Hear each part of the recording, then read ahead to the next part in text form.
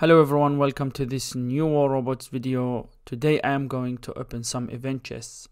War Robot is turning 8 and Pixonic sent me a bundle of coins. 7000 green coins, 9000 blue coins and 5000 purple coins. Thank you Pixonic for this great gift. So what do I need from these chests are the repair amplifier, the new shotguns and maybe another onslaught reactor. In my opinion, these items are the most valuable items in the chest right now.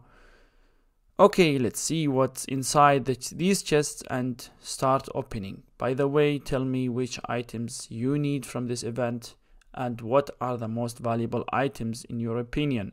So enjoy watching and see you with the next video.